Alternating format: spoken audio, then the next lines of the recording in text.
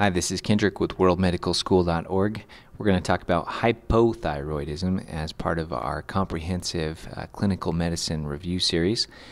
And uh, we're also going to mention thyroiditis as it uh, ties closely to hypothyroidism. So, this is a disease that affects uh, women more commonly than men. Uh, women like Oprah Winfrey here, who is, is not looking like your classic hypothyroid patient here. Um, she's looking pretty trim, and as we'll talk in a, in a minute, that is not one of the uh, major signs of hypothyroidism.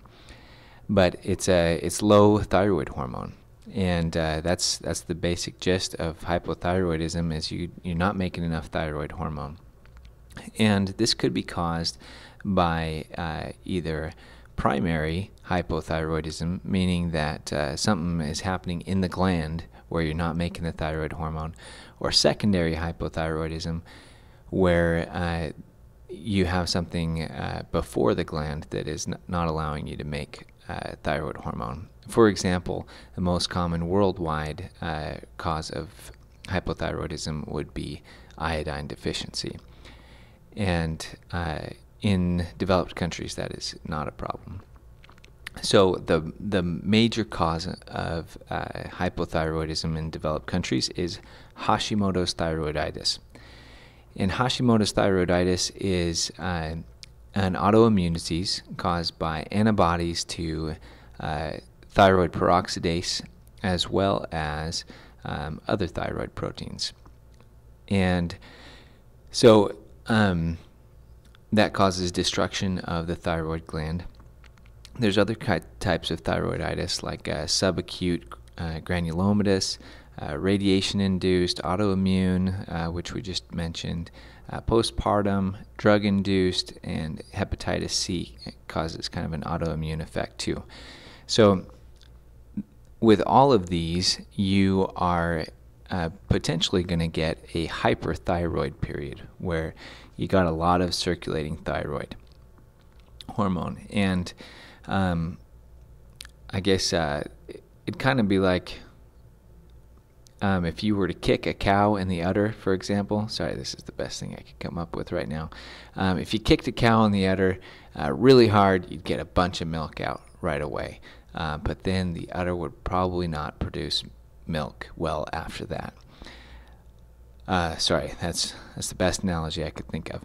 Um, so in that case, you get a bunch of thyroid hormone circulating, and then after that, you get uh, hypothyroid.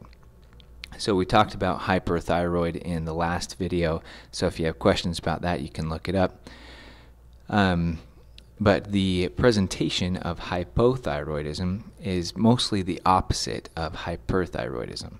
So, because thyroid hormone speeds up metabolism and, uh, in most cases, encourages growth, you get um, cold intolerance because uh, you have a slower metabolism, you're not making as much heat. You get constipation because you get a slower gut. You get weight gain, uh, bradycardia, uh, fatigue. Everything here is slow. Uh, muscle and joint pain. You get uh, dry, brittle fingernails, dry skin, brittle finger fingernails. You get depression, hypotonia, so the muscles are weaker. Females get uh, infertility and amenorrhea. Again, this is more commonly in females anyway. And then hyperprolactinemia, which could uh, contribute to the infertility and can also cause uh, galactorrhea. So those are the, the major early signs. Later on, you could get a goiter. Uh, you could get uh, hoarseness, slow speech, which may may be associated with the size of the goiter. You can get dry, puffy skin, especially in the face. Um, when it gets really bad, and we'll talk about uh, something called um, myxedema coma here in a second, but as it gets towards myxedema, myxedema coma, you get impaired cognition, sometimes psychosis, um, you get hair loss, uh, increased need for sleep, deafness, enlarged tongue. So those are some of the some of the more serious or, or at least less common symptoms. Uh, this is the only picture I could find of, uh, of an individual with hypothyroidism. This is a uh, retriever uh, Labrador um, with hypothyroidism. So log that away. Diagnosis is based on high TSH.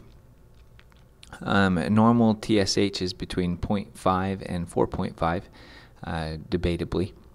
And some of these people get um, TSH levels uh, over 100, uh, and, and I hear over 1,000 as well. But, uh, but a lot of these people will be symptomatic at a TSH level of 10 or even, even 6. So we also test uh, low T4. So this is what T4 looks like. Uh, you just get out the microscope and look for things that look like this to measure your T4 and then uh, you also do a, a iodine uh, scan, a radioactive iodine um, thyroid scan to uh, see the uptake of uh, of iodine, and that will tell you how active the gland is. So you'll see a hypoactive thyroid gland. Treatment is basically just levothyroxine. It's a pretty simple treatment. Um, it, sometimes it takes a while to get your dosing right, but uh, you give levothyroxine, um, and uh, generally these people will take it for life. Uh, in subacute thyroiditis, which we, had, we, didn't talk too much about, but subacute thyroiditis is, is often painful. Um, and it it will go away in most cases with without treatment, but you can give NSAIDs and steroids to help calm it down and decrease the symptoms. Myxedema coma, as I mentioned before, is just severe hypothyroidism. Uh, you get decreased mental status, you get hypothermia. Uh, 30 to 60 percent of these people die. Um, treatment is IV levothyroxine and uh, IV hydrocortisone if uh, they are, have adrenal insufficiency. There's also congenital hypothyroidism that you need to watch out for. Uh, worldwide, this is usually caused by iodine deficiency, but in developed countries, it may be caused uh, by more congenital or um, or genetic defects. Uh, for example, I believe that George DiGeorge syndrome is associated with uh, congenital hypothyroid. Treatment is uh, levothyroxine again. Um, and if I understand this right, and correct me if I'm wrong, but the uh, mother's uh, thyroid hormone will make up for the baby's lack of thyroid hormone, providing she's making enough. Um, and so treatment is only necessary after birth. So please correct me if that's not right. But if you don't treat it, then this can develop to uh, cretinism, which is an old term that uh, basically just refers to the the mental retardation caused by hypothyroidism in babies. So um, this baby on the right here is jaundice, which is one of the things that you'll see with uh, hypothyroid. So you might want to keep that on your radar. So thank you for the pictures that we used here, uh, for our Labrador Retriever, for a picture of Oprah, and for the baby. And um, if you want to get involved in the pro- project, go to worldmedicalschool.org backslash volunteer. Also, your comments are very helpful in making these videos better, and please share it with your friends. Thanks.